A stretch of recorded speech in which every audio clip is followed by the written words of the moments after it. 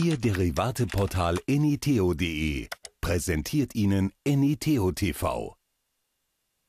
Hallo und ganz herzlich willkommen zu einer neuen Ausgabe von Eniteo TV. Die internationale Konjunktur, die steht im Mittelpunkt unserer heutigen Sendung und welche Aspekte wir uns genau anschauen, das sehen Sie jetzt. USA, wie geht es mit der Konjunktur in den Vereinigten Staaten weiter? China, warum kommt das Wirtschaftswachstum nicht richtig in Schwung? Und EWU, warum, wann lässt der Euroraum die Rezession hinter sich? Darüber spreche ich nun mit Monika Bowen, Senior Economist bei der DZ Bank. Sie ist mir aus Frankfurt zugeschaltet. Hallo, Frau Bowen. Hallo, Herr Ohme. Ich habe es gesagt, Thema ist heute ja die internationale Konjunktur. Beginnen wir ganz global, blicken wir auf die Weltwirtschaft zunächst. Die Weltbank, die hat gerade ihre Prognose für das weltweite Wachstum in diesem Jahr gesenkt. Wie sehen Sie denn bei der Z-Bank den aktuellen Stand der globalen Konjunktur und wie würden Sie die Perspektiven dann für die kommenden Monate einschätzen?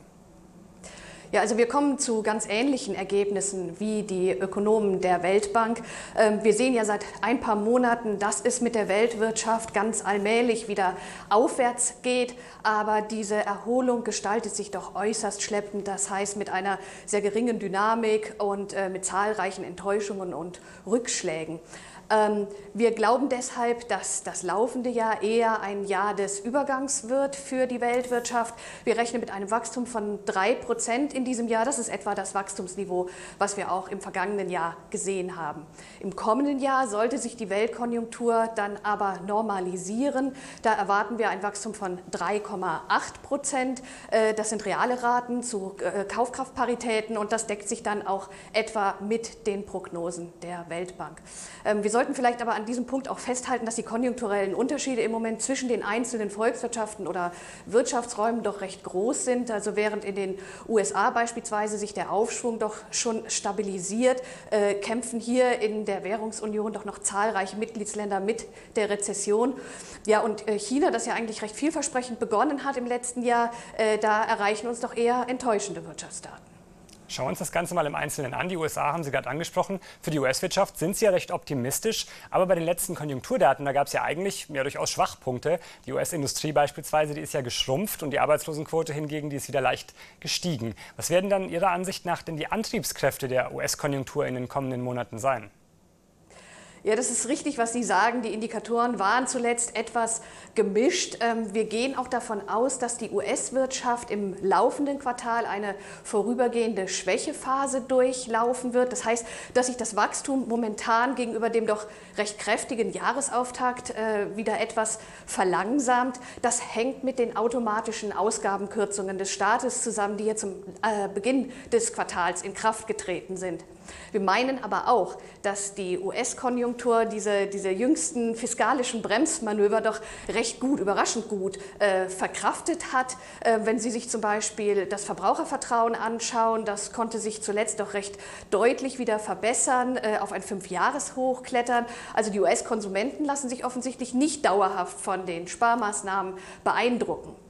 Ein ganz wichtiger Aspekt hierbei ist, dass in den Vereinigten Staaten der Häusermarkt sich wieder äh, nachhaltig belebt und er wird auch die wichtigste Triebfeder äh, in den kommenden Monaten für die US-Konjunktur sein. Ähm, die Bautätigkeit, die belebt sich schon wieder ähm, und wird dann auch den Aufschwung auf ein solides, investitionsgetragenes Fundament stellen. Ähm, und vom Bausektor sollte dann auch ein überdurchschnittlicher Beitrag für den Beschäftigungsaufbau kommen und das stärkt dann auch wieder das Verbrauchervertrauen. Also wir sind recht zuversichtlich, dass die US-Wirtschaft äh, bereits im, ähm, äh, in der zweiten Jahreshälfte wieder kräftiger äh, wachsen wird. Und für das kommende Jahr können wir uns dann auch ein Wachstum von 3 Prozent vorstellen. Das wäre dann der höchste Wert seit 2005. Dann schauen wir noch auf China. Da scheint die Konjunktur dahingegen ja nicht so richtig in Schwung zu kommen. Sie sprachen ja auch vorhin die enttäuschenden Konjunkturdaten an. Woran liegt das?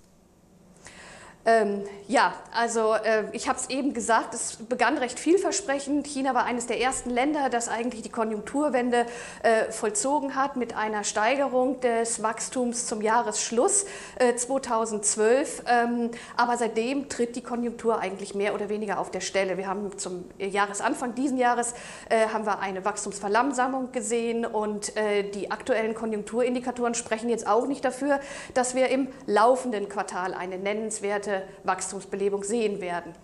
Woran liegt das? Ähm, ja, zum einen äh, läuft in China die Exportkonjunktur immer noch nicht rund. Die Belastungen kommen einerseits hier aus Europa von der schwachen Nachfrage, ähm, aber auch die kontinuierliche Aufwertung der chinesischen Währung, des Yuan, äh, die bremst natürlich die Exporte. Ja, und zum anderen haben wir seit äh, einigen Monaten in Peking eine neue Führung im Amt und die strebt auch ganz offensichtlich eine neue Politik an. So zeichnet es sich jetzt zumindest zunehmend ab. Ähm, eine der wichtigsten Maßnahmen äh, in letzter Zeit war das strikte Vorgehen gegen Korruption. Und das hat auch tatsächlich den Konsum zum Jahresauftakt sichtbar gebremst. Und der neue Ministerpräsident hat sich jetzt zuletzt auch äh, ziemlich deutlich gegen neue Konjunkturpakete ausgesprochen äh, und hat dabei korrekterweise auf die hohe Verschuldung der Provinzen ähm, verwiesen. Und äh, die geht ja auch auf vorangegangene äh, Konjunkturpakete zurück. Also es sieht ganz danach aus, als ob sich die neue Führung doch mehr der äh, strukturellen Schwächen der chinesischen Wirtschaft jetzt annimmt. Und äh, das ist natürlich auch grundsätzlich zu begrüßen. Denn äh, langfristig werden sich solche Maßnahmen natürlich positiv auswirken. Aber kurzfristig können sie natürlich schon das Wachstum etwas dämpfen. Ähm, aber es sieht so aus, als ob Peking auch bereit ist, das in Kauf zu nehmen. Und äh, damit setzt die Führung auch letztlich eine Vorgabe des laufenden Fünfjahresplans um, nämlich beim Wachstum mehr auf Qualität denn auf Quantität zu setzen. Äh, ja, vor diesem Hintergrund haben wir äh, vor ein paar Wochen schon ähm, unsere Wachstumsprognose für China gesenkt. Ähm, wir rechnen jetzt in diesem Jahr nur noch mit einem Wachstum von 8 Prozent. Äh, das ist gegenüber dem Vorjahr ähm, etwa das gleiche Wachstumsniveau. Im kommenden Jahr dann, wenn die US-Konjunktur wieder etwas kräftiger läuft und wenn wir auch eine Erholung hier in Europa sehen, dann ist bestimmt auch mit einer höheren Wachstumsrate zu rechnen. Wir gehen dann von einem Wachstum von 8,5 Prozent aus. Ja, apropos Konjunktur in Europa, die wollen wir jetzt noch mal ansprechen. Die Wirtschaft hier in der Währungsunion befindet sich ja weiterhin in der Rezession. Die Arbeitslosigkeit steigt ja vielerorts in erschreckende Höhen, muss man sagen. Während auch viele Staaten trotzdem ja weiter den strikten Konsolidierungskurs fahren müssen, ist denn ein Ende dieser Talfahrt absehbar? Also wir meinen schon, ähm, vielleicht sollte man bei all den Schwierigkeiten, zahlreichen Schwierigkeiten im wirtschaftlichen Umfeld doch die wenigen positiven Aspekte nicht gänzlich übersehen. Also es ist natürlich so, die Wachstumszahlen vom äh, Jahresauftakt, die waren erwartungsgemäß schwach. Aber das äh, Tempo des Abschwungs hat sich doch in den, in den meisten Mitgliedstaaten verlangsamt. Und ähm, wenn wir jetzt auf einige äh, Vertrauensindikatoren schauen, zum Beispiel das Verbrauchervertrauen ähm, in der Währungsunion, das kann sich doch seit einigen Monaten kontinuierlich verbessern. Natürlich auf sehr niedrigem Niveau, aber die Verbraucher sind doch nicht mehr ganz so pessimistisch wie jetzt noch vor einem halben Jahr. Und wenn wir uns den von uns berechneten DZ-Bank Euro-Indikator anschauen, der kann äh, konjunkturelle Wendepunkte äh, in der Währungsunion recht gut frühzeitig signalisieren äh, dann sehen wir, der ist zuletzt auf den höchsten Stand seit über einem Jahr geklettert. Also vermutlich wird die Wirtschaftsleistung im laufenden Quartal nochmals leicht sinken hier in der Währungsunion. Aber für die zweite Jahreshälfte erwarten wir dann doch ein Ende des Schrumpfungsprozesses. Ähm, zum einen wird sich dann die Verbesserung in der Weltwirtschaft, äh, allen voran in den USA, positiv vor allen Dingen auf die exportorientierten äh, Länder wie Deutschland oder die Niederlande positiv auswirken.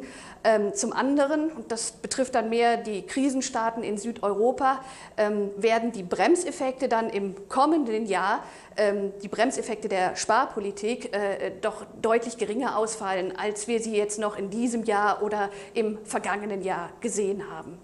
Ähm, wir sind da eigentlich ganz zuversichtlich, dass äh, in Deutschland äh, als der größten Volkswirtschaft im Euroraum im kommenden Jahr ein Wachstum von über 2 Prozent äh, erreichbar ist. Ähm, damit könnte Deutschland dann auch an die Wachstumserfolge von 2010 und 2011 ähm, anknüpfen. Aber wir halten auch in den südeuropäischen Peripheriestaaten ganz leicht positive Wachstumsraten für durchaus erreichbar. Und für den gesamten Währungsraum würde sich dann ein Wachstum von gut einem Prozent im kommenden Jahr ergeben.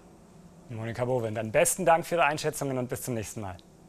Gerne. Tschüss. Und zum Abschluss gibt es jetzt nochmal die Zusammenfassung dieser Sendung mit Hilfe der Top-Themen. USA Wirtschaft im kommenden Jahr mit stärkstem Wachstum seit acht Jahren. China, neue Regierung setzt beim Wachstum mehr auf Qualität denn auf Quantität. Und EWU-Rezession wird im weiteren Verlauf des Jahres überwunden. Das war NITO TV für diese Woche. Nächsten Freitag sehen wir uns aber mit einer neuen Ausgabe, wenn Sie mögen, wieder. Bis dahin, machen Sie es gut. Auf Wiedersehen.